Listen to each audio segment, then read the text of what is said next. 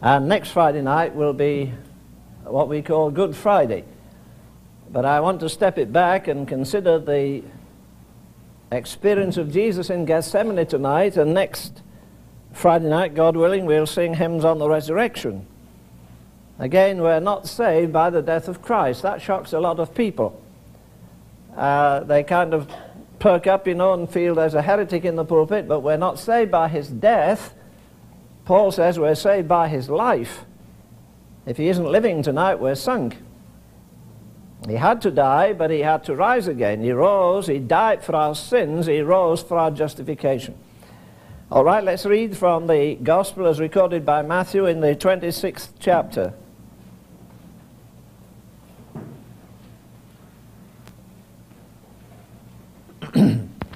Verse 30 They had just drunk and eaten round the table of the Lord. Well, Jesus here had been with his disciples and they had sung a hymn which undoubtedly was a great hallel. Those majestic psalms that, that have never been superseded, you can say all you like about praise and adoration, whether you're charismatic, Pentecostal, or Presbyterian, or Methodist, or what. Nobody has ever exceeded the praise of the psalmist. He extols the Lord. If ever I wrote a tune, I would write it to um, lift up your heads, O ye gates, and be ye lifted up, ye everlasting doors. I feel that that's a great resurrection hymn. But they'd sung, uh, when they had sung a hymn, verse 30 says, they went out into the Mount of Olives, and Jesus said unto them all, Ye shall be offended of me this night, for it is written, I will smite the shepherd, and the sheep of the flock will be scattered abroad. But after I am risen again, I will go before you into Galilee. Peter again, you know, always got an answer. Peter said, Though all men forsake thee, I will not do it.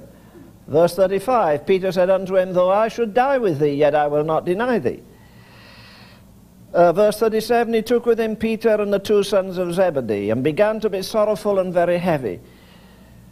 Then said he unto them, My soul is exceeding sorrowful even unto a death. Now, would these smart boys that say there's no sorrow and hardship, would they accuse Jesus of lacking faith? If everything comes in answer to faith, he says he could, end, he could do nothing in one city because of their unbelief. Now, why didn't Jesus overmaster their unbelief with his faith? You can think about that for a, a while after. Then said he unto them, My soul, verse 38, is exceeding sorrowful even unto death. Tarry ye here and watch with me. And he went a little farther and fell on his face and prayed, Father, saying, and prayed, saying, O my Father, if it be possible, let this cup pass from me. Nevertheless, not as I will, but as thou wilt. Middle of verse 40, he saith to Peter, Could ye not watch with me? Because he came and found them asleep. Verse 42, he went away again the second time and prayed, saying, O my Father, if this cup may not pass away from me, Except I drink it, thy will be done. And he found them asleep again, for their eyes were heavy. And he left them and went away again and prayed the third time, saying the same words. Then he cometh to his disciples and saith unto them, Sleep on now and take your rest. Behold, the hour is at hand, and the Son of Man is betrayed into the hands of sinners. Now look, between that and the next verse, there's possibly hours. But notice the infinite mercy of Jesus. They failed him once, twice, three times in his darkest hour. And yet, verse 46 says, Rise, let us be going. Behold, he is at hand that betrayeth me. So Jesus waited patiently while they slept in the most critical hour of his life. Uh, you may not agree with me, that's all right. But I believe that's exactly what the church is doing now in the most critical hour since she was founded. She's sleeping and therefore failing a Lord in this most critical of all critical hours in history. These are the very men who one day came to Jesus, and as I've said, and not facetiously, they didn't say, Lord, teach us to sing. They didn't say, Lord, teach us to preach, though he was a master preacher. Think of the Sermon on the Mount. They didn't say, Lord, teach us to heal the sick. They came and they said, Lord, teach us to pray. In other words, we've heard John, but they were kind of suggesting John doesn't touch the heights that you touch. Now, it's amazing there is no record in the scripture of Jesus ever praying with his disciples. He prayed for them, but I don't know that he prayed with them. It's like Dr. Tozer going to church. When, when he went to church to the prayer meeting, nobody dare pray because they were afraid it would look so bad. And then he would pray, and after he prayed, nobody dare pray. Because he prayed not just with a vocabulary that was more expressive, but he prayed in, in a dimension, in a depth, in a height that left everybody uh, floundering. You know, waters to the ankles. We're only just in this business. And, and I, I, I think this is the most awesome thing ever that Jesus did, apart from the cross. But they fell asleep. Now, in the old economy, in the old Hebrew economy, you know, the priest entered, they, they had a day of atonement.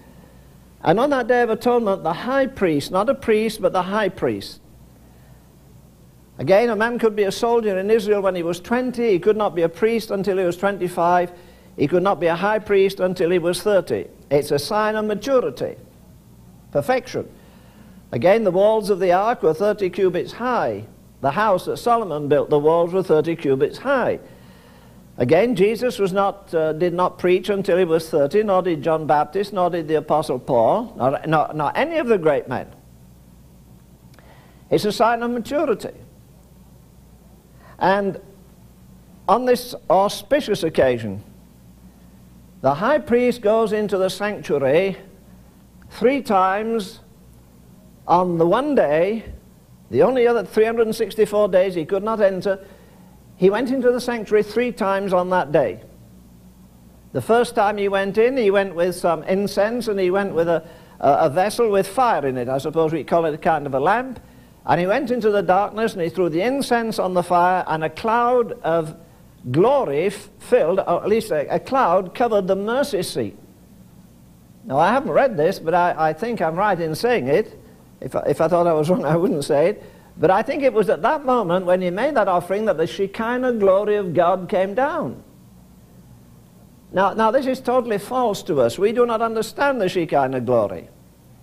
Again, in the outer court there was daylight. In the inner court there was candlelight or seven branch candlestick. In the Holy of Holies there was no light at all. It was totally black unless the glory of God came. I get an ache in the pit of my stomach or somewhere else when I go to church and immediately someone says, let's all stand up and sing a real rousing chorus. Well, I've been listening to noise, blaring automobiles and guys going past with every bit of pressure coming out of the, uh, the radio uh, on the car and, and others. I, I think it's time we learn to be still and know that he's God.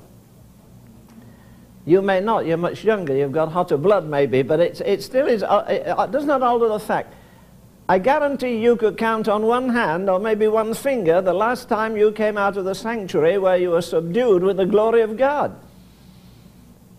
You were awed with His majesty. We just came home last week, you know, and, or this past week, and I said to my wife, well, we'll have a backlog. I have a backlog of mail actually till about Christmas, and there'll be some more. We've been away a few days, and we've been away three weeks in the Bahamas and we'll just have a cup of tea and I'll get down to business. And a fellow called me and he said, uh, I'm at last days picking up some tracks. I must see you. We're going to uh, drive all night. Got a 19-hour drive to 150 miles or something the other side of Atlanta. I said, all right, I'll give you 15 minutes, which I gave him, plus two hours and uh, something else. He stayed three hours. But I've never seen uh, two young men, two young ladies, people more hungry. And he said, this, is, this has been life-changing tonight. This has been, and all we did was talk about the holiness and the majesty of God. Oh, mercy, he said, I never think about that when I go to church. You know, it struck me as very funny today. No, it's not really funny, but it's, it's critical, really, that millions of people this Sabbath day will go to God's house, but they don't know the person that owns the house. Would you go knock at somebody's door, a house you didn't know? You knock at the door and the fellow says, what do you want? I don't really know. Who are you? Well, I live in this house. And yet people are content to go Sunday after Sunday and never meet the owner of the house. Just atmosphere, just emotion. So the high priest went in the first and he, and he took that uh, incense and he took the fire. The second time he went in, he went with blood for his own sins. And the third time he went in, he went with blood for the sins of the nation. Now, as I see it, Jesus entered only twice, as it were, into the holy place, and one is here in the Garden of Gethsemane. You know, things that used to be scientific fantasies a few years ago, when I was a boy, have, have become uh, actual, commonplace. if you had told your grandfather, maybe you did tell him years ago, that you could sit in a room and in a million homes in America, you just press a button like that, and in a million homes at the same split second, you can see the president behind his desk. He would have thought you were something wrong with your head. Wouldn't it be wonderful if that picture actually traveled from one city to another city and you got it, say, 15 minutes later in Dallas and you got it here and then you got it two hours later over in California, but at the same split second? See, it's really magic, it's really miraculous, it's a scientific miracle. And, you know, when people are always saying, oh, but I, uh, everything I t- every time I pick up the newspaper, hear the news, I hear about the Middle East, I think about the coming of the Lord, I think about this, that, and the other. Well, I'm not saying that's wrong. I think often we get distorted. I, I, think we get fascinated with events rather than the Son of God himself. If you're more excited about the coming of Jesus than you are about the presence of Jesus, you better do some thinking. It's his presence that matters. But we get, we get caught up in things like that rather than realize his majestic presence. Now, Science has told me years ago that over the earth there's a, there's a sphere which I understand is, a, is a, an envelope, or envelope if you want it that way, of ether belting the world. Here's, this is the world kind of thing. And, and there's a, all around the world there's I don't know how many miles of ether. And that ether has been a trap. This scientist says every word that has ever been spoken audibly is trapped in that ether. And just as you uh, switch a knob, and uh, isn't it amazing in your automobile? Automobiles are like sitting in the front room now. They're lush, plush, comfortable, and you switch the music on and get this and get that, get the other. You'll be able to turn a dial, and nothing has ever perished. If you like, you might be filtering through, turning the knob, and suddenly you hear Adam and Eve who was talking in the garden. Plus, you hear God talking in the garden. Every word ever spoke, every idle, oh, is that why the book says that every idle word, and as a matter of fact, every other word that man speaks is going to come back to him? It's all locked up there in space. Now, supposing you could have your choice tonight to hear all the things that have ever been said since Adam taught in the garden with the Lord, what would you choose? Would you want to hear Mark Antony's oration over Julius Caesar? Or Hannibal talking to his elephants going over the Alps? Or would you like to hear the original uh, declaration, which must have been very wonderful, when uh, the President of the United States at that time gave that famous Gettysburg speech? After all, the man before him spoke for 120 minutes. Abraham Lincoln spoke for 120 seconds. Do you know the name of the man that spoke two hours before him? Can you find that speech anywhere? You can find Abraham Lincoln's speech in books in Russia, England, anywhere in the world. A majestic speech. Must have been wonderful to hear him give it. Would you like to have heard uh, Isaiah when he cried, Woe is me, I'm undone? Or Moses when he spoke to the rock?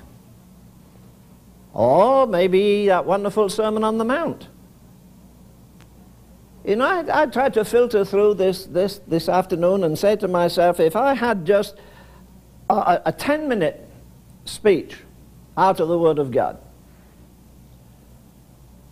what would it be?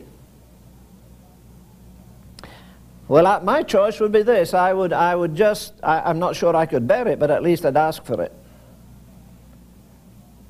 And I would ask to hear the prayer of Jesus in the Garden of Gethsemane.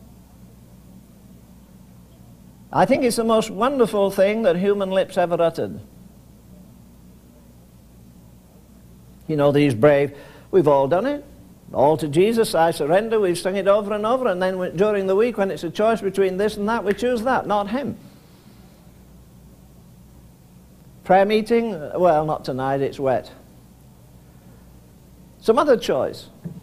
How easy it is to be apparently sincere and yet really hardly knowing our own hearts because it's emotion that stirs us to say, yes, Lord, look, all this bunch, you can't, you can't, I mean, you can't trust Thomas, you know, he's got a streak of doubt in him and, and John's a bit weak, but me, Peter, I can meet them all. So if you get into a jam, you know this, that Peter is behind you all the way. Well, he wasn't, was he? Now, this is, this is a non-repeated, it's an unrepeated act, like everything Jesus did. The virgin birth has never been repeated. Gethsemane has never been repeated, and it is unrepeatable. It never will happen again. Doesn't have to happen. And then the death of Jesus is unrepeatable, and the resurrection. There, we used to sing a hymn, I've forgotten the hymn book it was in. Go to dark Gethsemane, ye who feel the tempter's power. Your Redeemer's conflict see, watch with him one little hour. Turn not from the world away, but learn with Jesus Christ to pray.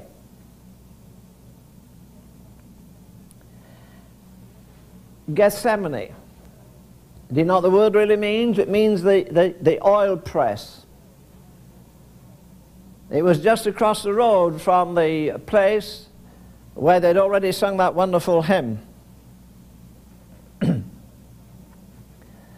didn't have very far to go.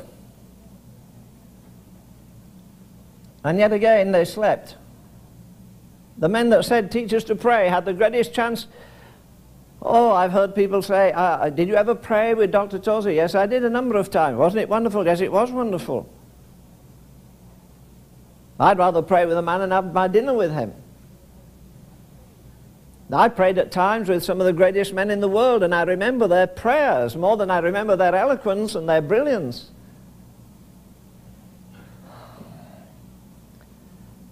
We don't pray from our minds, really, we pray from our hearts.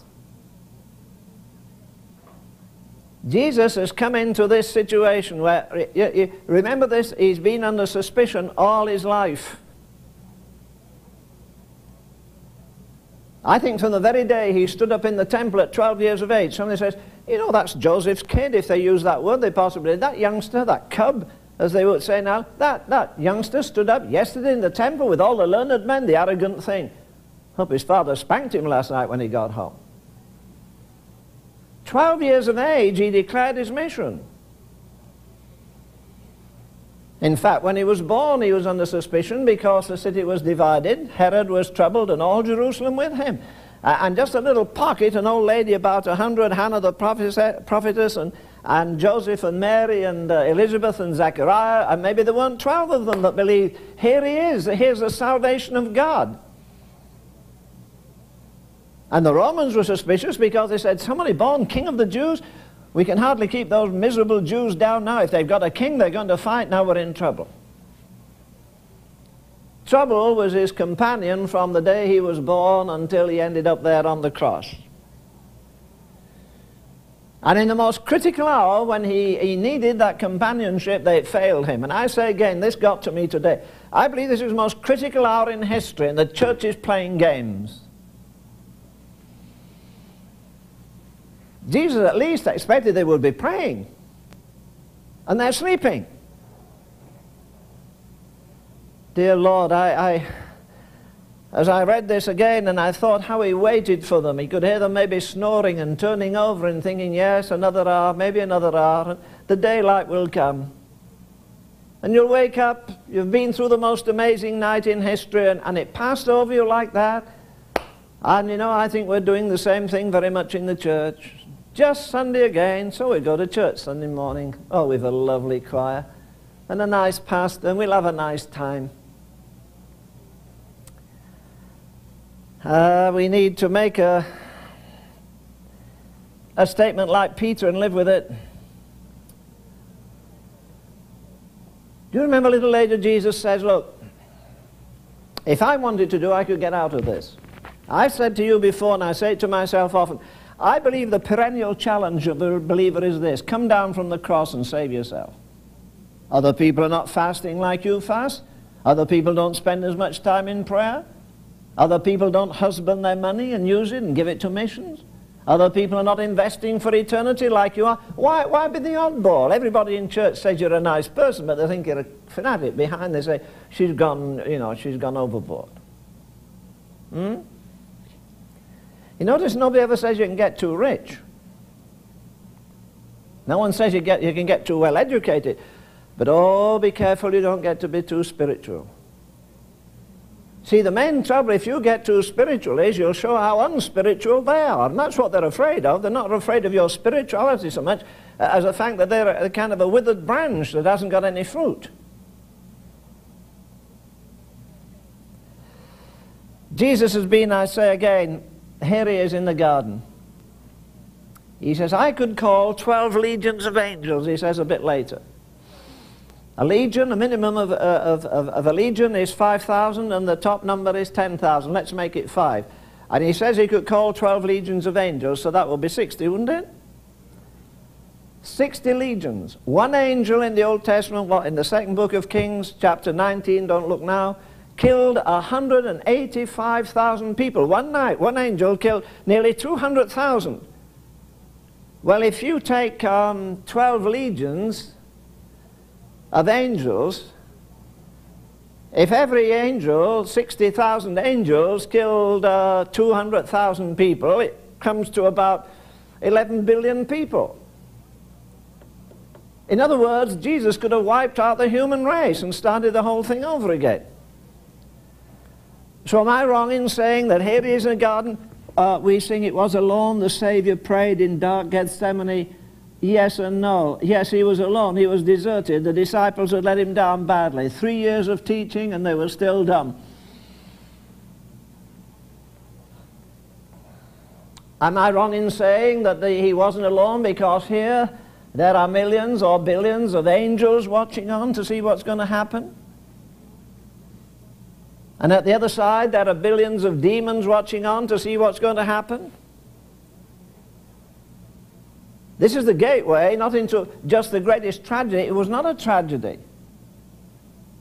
Well, it was tragic in the sense that men had no more sense than to deal with him this way. But you remember that Herod said to him, Listen, you watch your step because I'll, I'll take your life from you. And Jesus looks at him so calmly and says, No man takes my life from me. I have power to lay it down. And when it comes, I'll lay it down. And you know what? I'll take it up again. You know, that must have shocked him. I'd like to have taken his pulse after he heard that.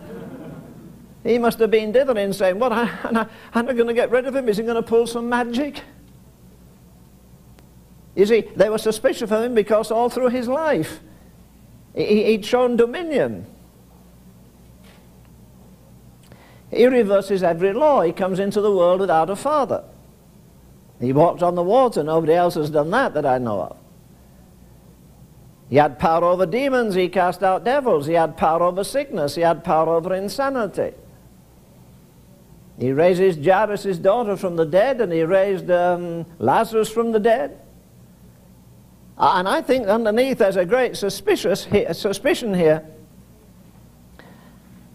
that Jesus is going to pull something off. In fact, I'm quite sure about it. For how, why, why do you send 16 soldiers to guard a tomb? Hmm? I'll give you my picture next week, next Friday night, on unsealing that tomb. but let me remind you of this, that the tomb was not, the stone was not rolled away to let Jesus out of the tomb.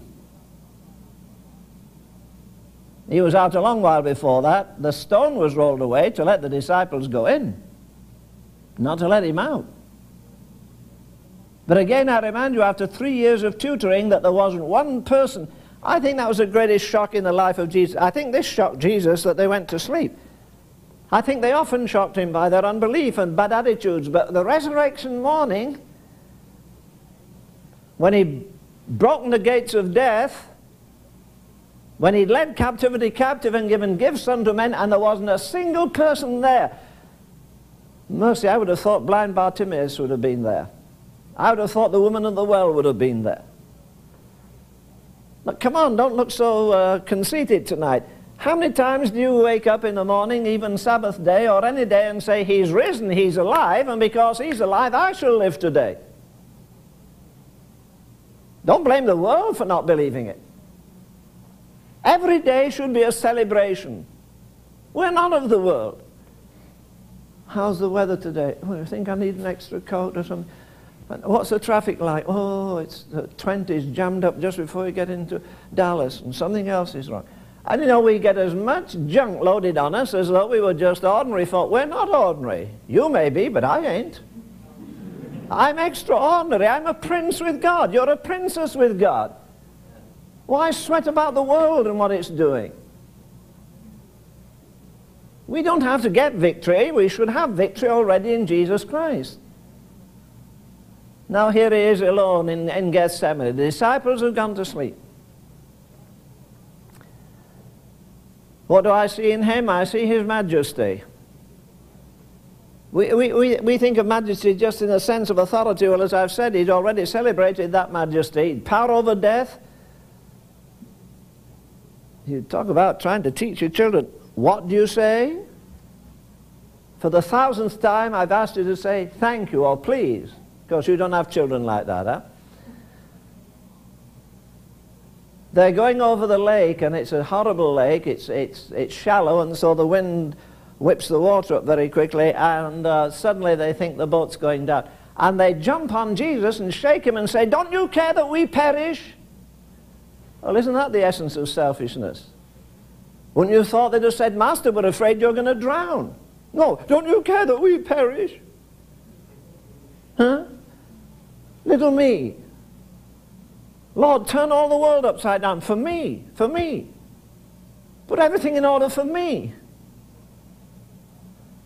Oh, dear, dear, dear, how earthbound we get. We think on the level of others so often. I see here the majesty of Jesus. What did he say? No, there's no guesswork about this. Ye shall be offended of me this night because the shepherd is going to be smitten. He walks into the jaws of death because that's what he's doing actually. There's no nervousness. There's no lack of assurance. For this purpose I came into the world. I've been preparing for 33 years for this supreme moment in my life. That's a long time to go to school. But he went to the school of the Father. There's no happenstance, there's no guesswork.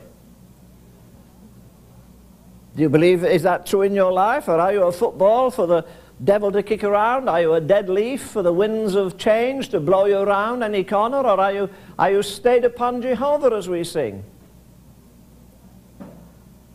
This is, this is my career. I've been training for 30 years. All that you've seen is, is incidental. It's all periphery to this one fact that right now, here's the supreme ministry that I have. And he stands there in solemn majesty. I guess the devil and demons were looking down, and I guess they were saying that the odds are against us very much because we've never beaten him. I wrestled with him 40 days in the wilderness. He beat me every round. I faced him at death. He beat me at death. I faced him with a paralyzed Every disorder that Adam brought into the world, he's put it back into order. That word majesty comes from a word magnum, which actually means awesome strength and awesome power. Not in the sense of an earthly king, something far beyond that. Not only do I see him in his awesome majesty, but I think of the thing that we shun so much loneliness.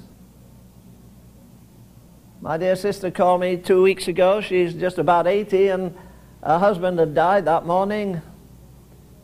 Uh, she lives in a nice little cottage there in England, and I kept saying to Martha, well, she'd be pretty lonely. They'd been married 50 years, and her husband's a good preacher, and he's gone. People shun loneliness. But, but when that loneliness is something you don't deserve, when people have sworn their allegiance to you and so forth and so on, and, and you wonder that for once the crowds were not there, they weren't going after bread, they weren't going after healing. Why, why, why?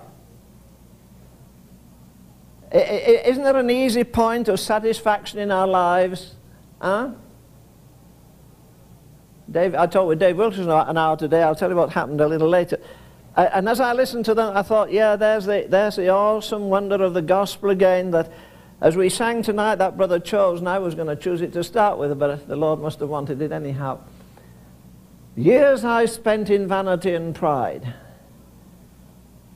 And the psalmist says he lifted me out of a horrible pit. Now look, some of us were deeper down in that pit.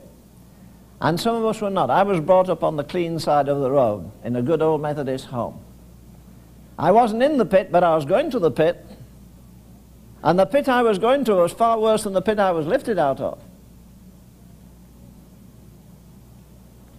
But oh, do you think that God gets lonely now? Do you remember the scripture that says that Jesus Christ is the same yesterday, today, and forever? Well, if he was disappointed and disgusted with those disciples in the Garden of Gethsemane, do you think he's disgusted and disappointed tonight? Or let me ask you this. He wept over Jerusalem, the city he loved so much. Do you think he's weeping over his church tonight? Some of you have read some of Gordon Olson's work, and I couldn't find it. I'd like to have read it, but I'll turn it up. He has a, a section on which he speaks on the grief of God.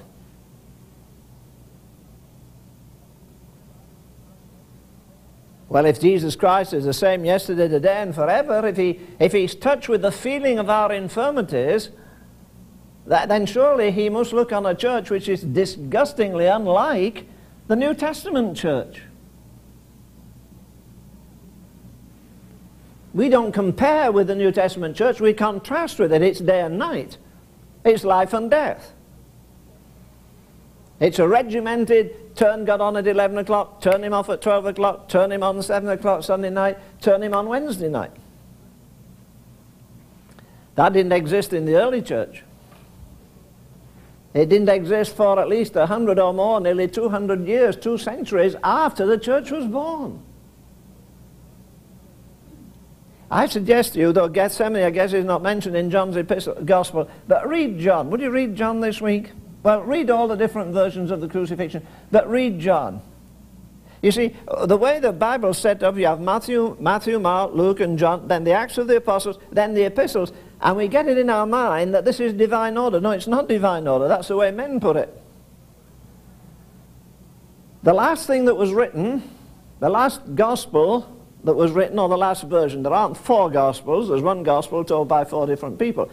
And the last version, the version by John, was written after the epistles. And then he has three letters. And he was unlearned and ignorant. You know, he did pretty good, didn't he? For an ignorant man. He wrote the most profound thing ever written is the fourth chapter, is the fourth gospel, or as we call it, the Gospel of John. And then he wrote three epistles, that makes four books. And then to prove he was stupid, he wrote the book of the Revelation, which is pretty good going, isn't it? But you see, we kind of think that the, the, the, the, epistles are more important. No, they're not. No, the epistles are only an expansion of the gospel as John presented it.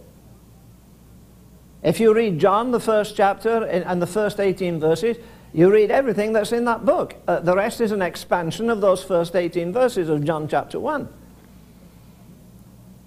But you see, we're, we're getting away, we're so getting tied up with gifts, and, and you go to some meetings, all you hear is prophecy, prophecy, prophecy, prophecy, miracles, miracles, miracles.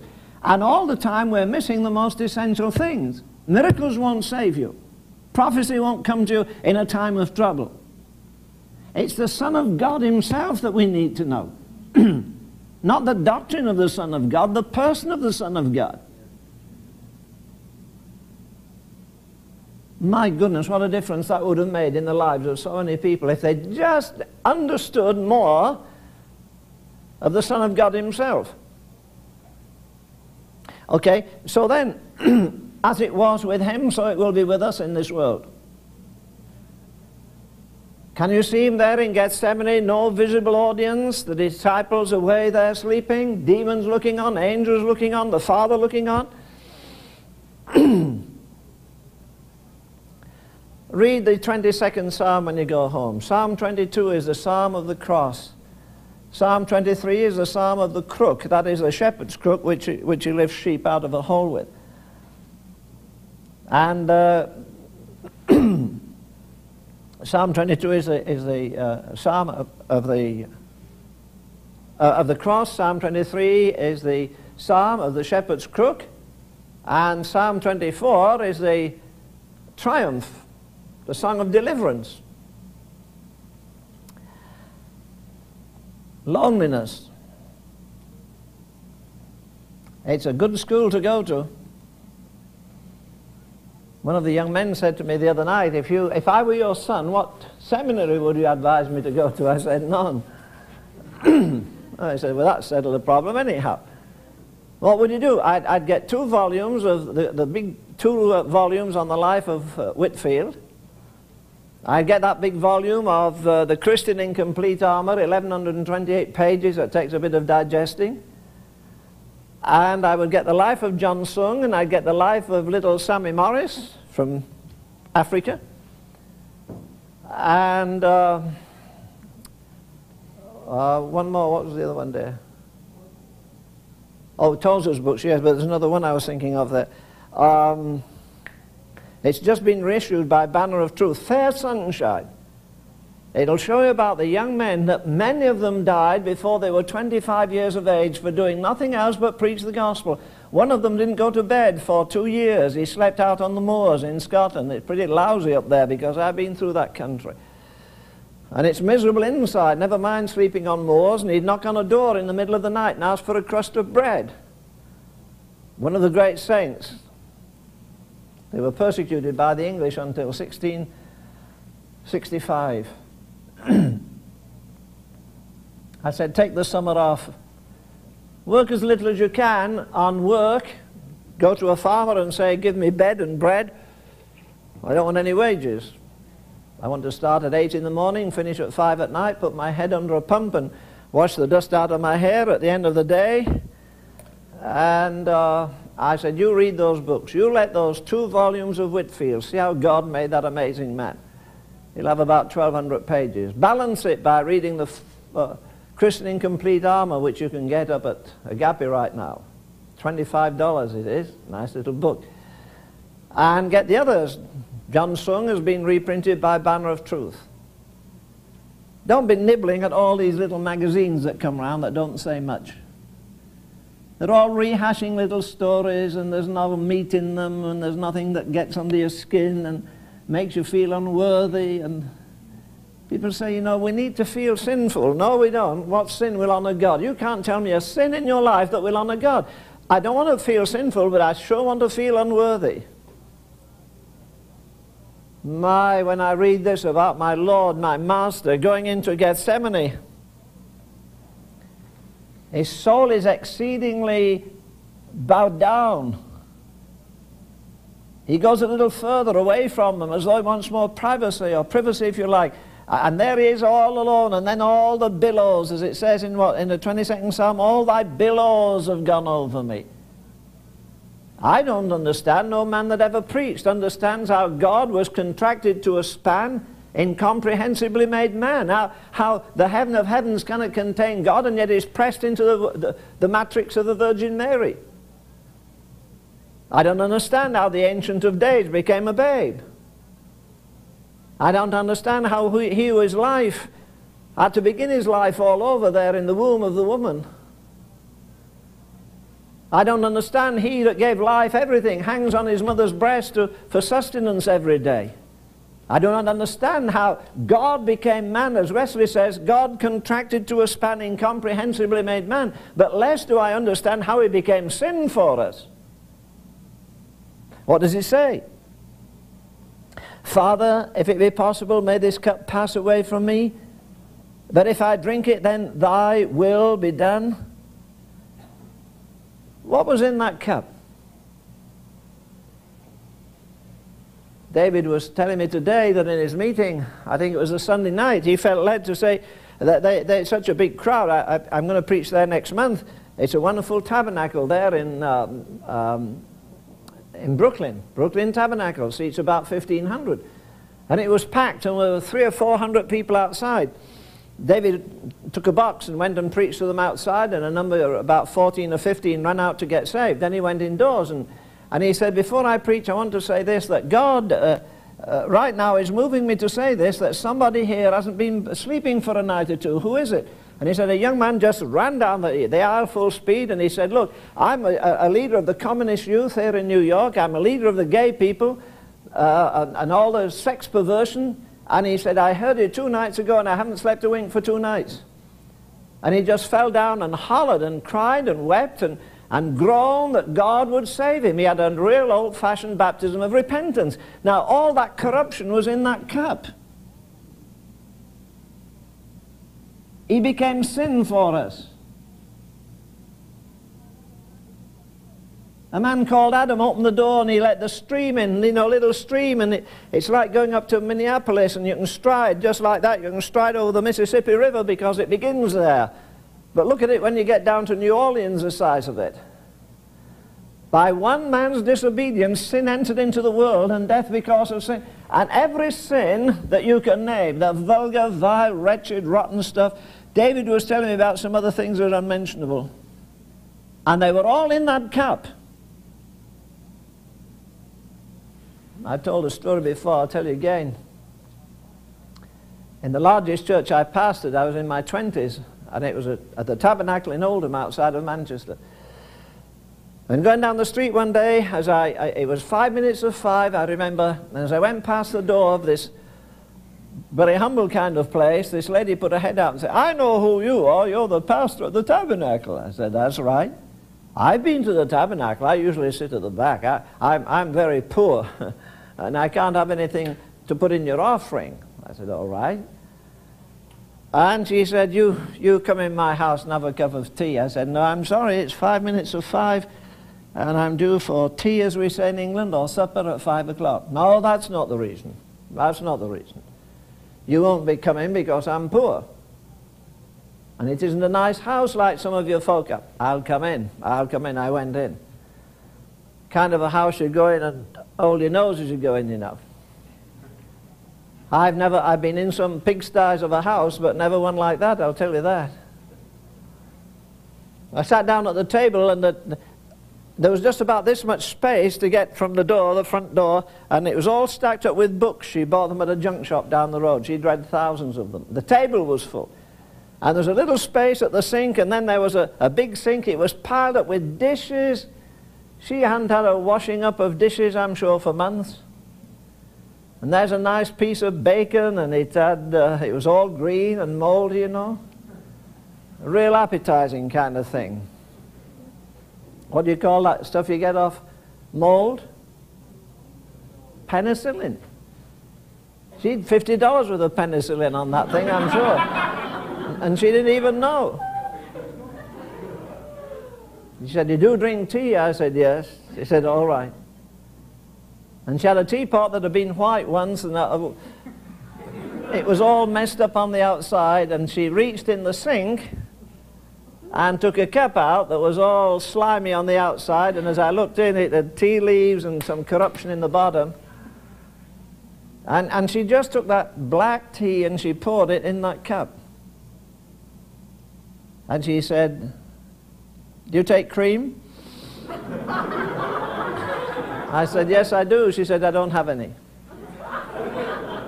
Do you take sugar? Yeah, I don't have any.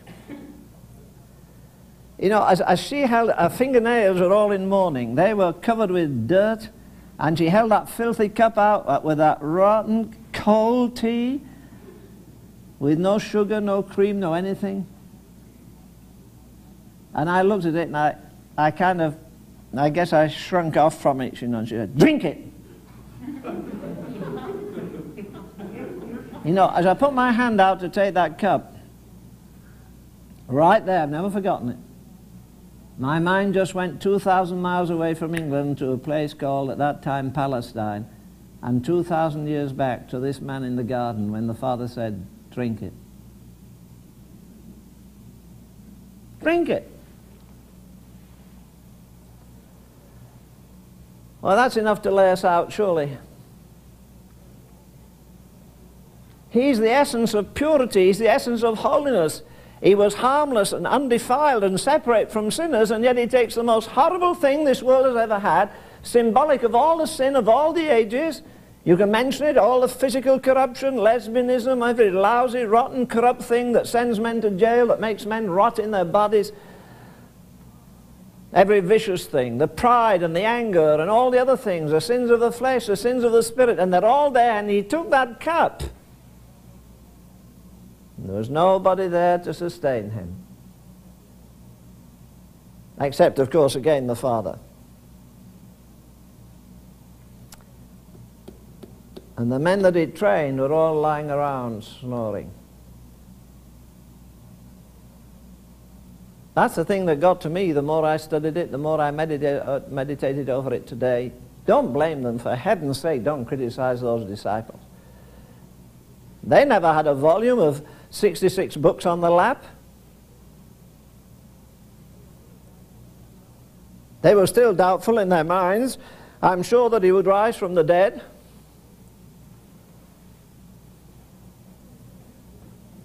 What kind of a judgment do you think the church is going to have when we get to the judgment seat with all the knowledge we have and all the light we have and all the versions we have? A lot of these meetings where we just clapped and had a marvelous time and sat down and went home and couldn't remember the text or what had happened. All we had was a hullabaloo time that stirred our emotions. They look pretty sick at the judgment seat, I think.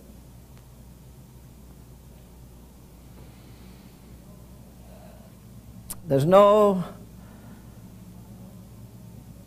violation here. There's no disagreement with the Father's will.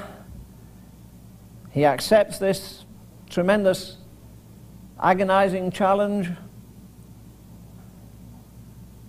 And I kind of wonder in my mind what he was seeing at that moment in the darkness. Oh, because his resurrection had been prophesied anyhow, and I think that that was his consolation. Why did he do it? Why did he do it? He did it for this reason. He said right through his life, all that he did, everything he did, pleased the Father. And you remember the verse that says, For the joy that was set before him, he suffered the cross, despising the shame. Now, I don't believe there's any, I don't believe he had any joy in hanging on a cross. We try to be modest and they cover Jesus, you know, but I don't believe anybody crucified ever had a covering on him at all. Part of the stark nakedness was part of his humiliation. Tommy. And, and he goes to the cross and he endures the cross because that was the way that the Father had designed it. He came into the world for the sole purpose for 30 years. That cross never had a shadow over it. There was never any gloom over it, never any darkness over it in the truest sense of the word. This is the ultimate goal why I came into the world, that I might please the Father. It's the only way that redemption could be completed. Again, he goes there so different from the priest. The priest had to take an offering for his own blood, and then he had to take an offering for the, for the blood of the, uh, for the, for the sin of the, of the nation Israel. It was just tied up to one group, to Israel. Now the gospel is for the whosoever. It's for all nations, all people, everywhere. The high priest died. Our high priest will never die. The Aaronic priesthood, they were superseded by their sons, or at least they died and their sons followed them, but in here there's no, there's no such thing. He ever liveth to make intercession for us. I want you to think about this. You'll get more out of it as you do.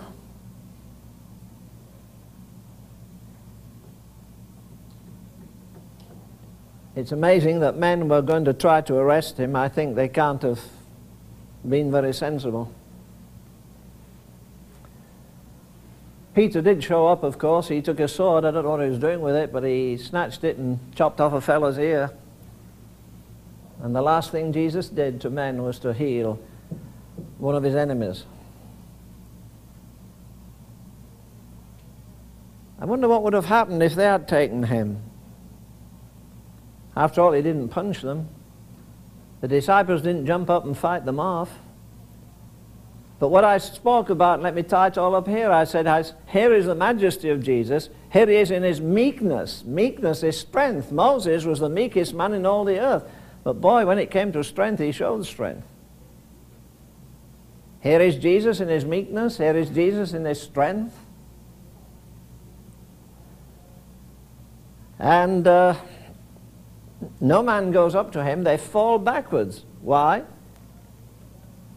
Because I believe that there were kind of waves of, uh, the, when they felt, when they came into his presence. I heard somebody say recently, I was in the presence of a, a certain preacher and I was awed. I couldn't speak. I, I'd, I'd heard of this man, I'd heard him preach. Uh, and when I got up close, I, I, somebody said, Did you talk? No, no I, could, I couldn't open my mouth. I was so awed. I felt the, the atmosphere change when he came in the room. Well, don't you think it was like that? Where Jesus, the very personification of, uh, of, of cleanliness, of holiness, of meekness, and these men are rough, bloodthirsty rascals, and somehow as they come nearer, they feel as though he has a kind of a, a defense round him that they can't uh, understand. After all, the Lord had said he'll give his angels charge concerning us. I think one of the great revelations when we do get into eternity will be, again, coming from some of these folk in the Gulag Archipelago or somewhere like that in these awesome prison camps that exist in our so-called civilization. we find how many times God has delivered them with angelic powers. You see, the lonely place is the heart place. Moses had to have it, didn't he? Hmm? If you sing all to Jesus, I surrender, maybe he'll come back and see you do surrender it too. You may have to surrender some friendship. You may have to surrender a career. It may be he'll wreck all the things that for years you've thought about as being the very thing God wants you to do, and you suddenly find, find it isn't. It's something you wanted to do for God, not somebody, something that God wanted to do for him.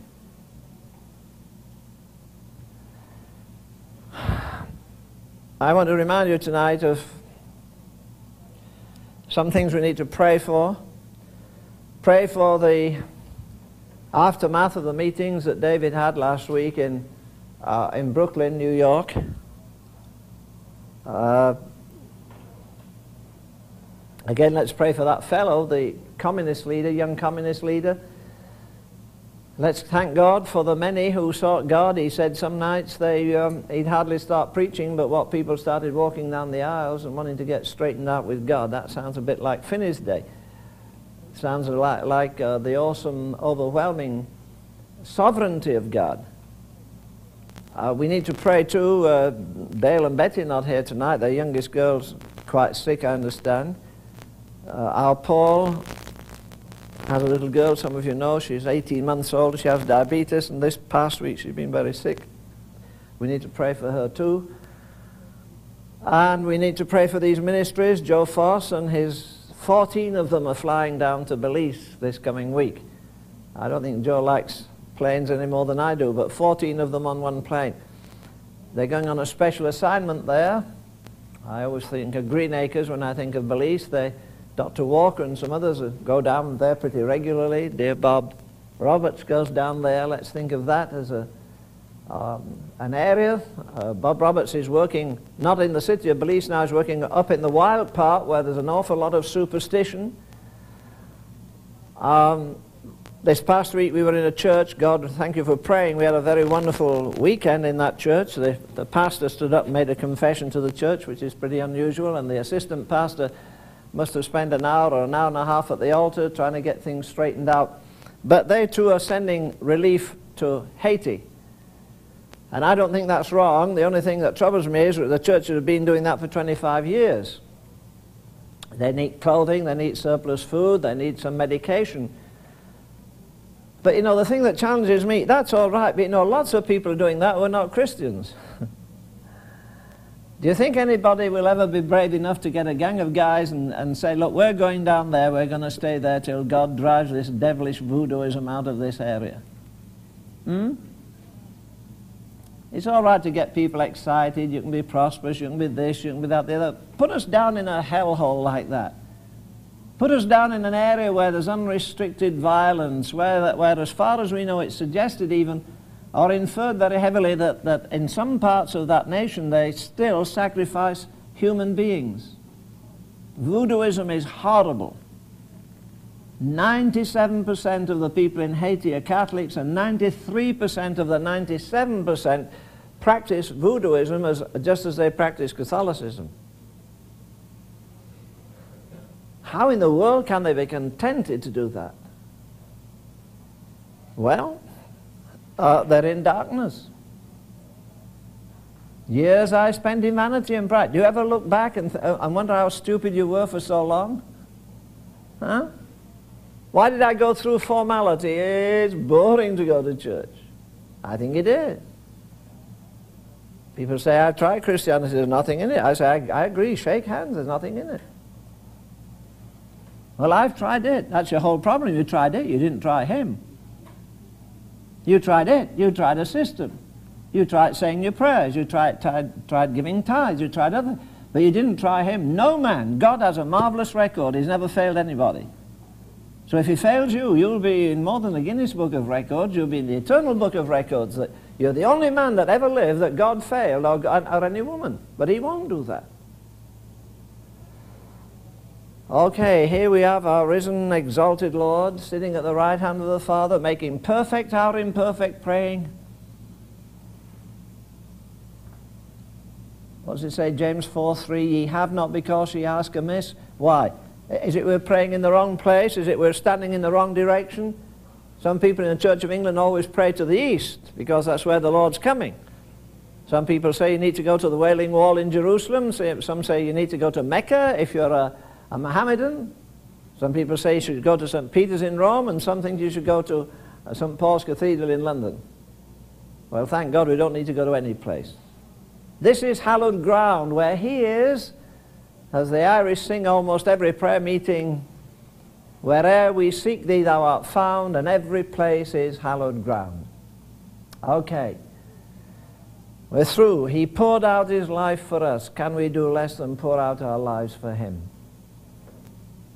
The chapter will soon be over. Your little volume, you're writing a volume. People say, I'd like to write a book, Mr. Raven. I say, you've been writing one from the day you got saved. There on the bookshelf in eternity with your name on, and one day God's going to read the whole thing from the day you were saved till the moment you died. How much you prayed, how much you sacrificed, how much you loved Him, how much you served Him, how much money you gave to. Your personal biography. Mm. No, it's not a biography. It's an autobiography. You're writing it every day. See, that's why eternity is going to take a long while. People say, well, how long will it take? I say, I don't know. We're not going anywhere, so what matters? We've no appointments. We're just going to be there in eternity, and we're going to see the redeemed of all ages. And we're going to see people that we never thought would get much honor brought to the front, and people we thought would be very honored will be at the back. Some of you will be looking during the millennium for some big TV operator. You watch him every Sunday. And you say, well, I haven't seen him around. You say, he's driving Leonard Ravenhill's chariot down there. He's, uh, he's been reduced in size. The first shall be last, the last shall be first. God has some marvelous saints hidden away. And you know, I want to get the best, not just for my own sake. I want to do that that pleases the Father. And if you go to a Gethsemane, remember, He'll bring you through. If everybody fails you, it's lonely. Loneliness is bad enough, but when it's pitch dark, it's worse. And when you're deserted by the best folk, that's, that complicates it a little bit further. And when you think people are spiritual and you suddenly find in a crisis hour that worse than anybody else, that's good. That's, that's according to the book. Don't worry about it.